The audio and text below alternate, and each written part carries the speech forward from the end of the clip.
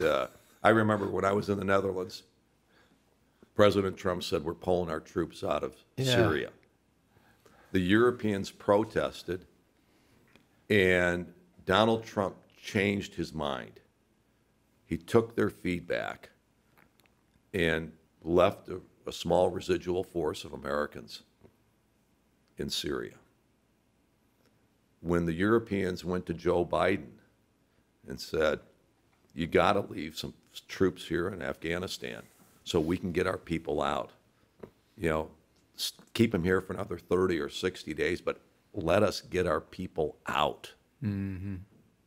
And I don't think our military went to him and said that. Mm-hmm. You know, I don't know if they told him we're going to leave Americans behind, but when the Europeans came to him and said, leave a residual force until we get our people out and then pull out, the president said, no. I'm pulling out when I'm pulling out. And, you know, so our European allies are furious. They, he's no longer welcomed in the club.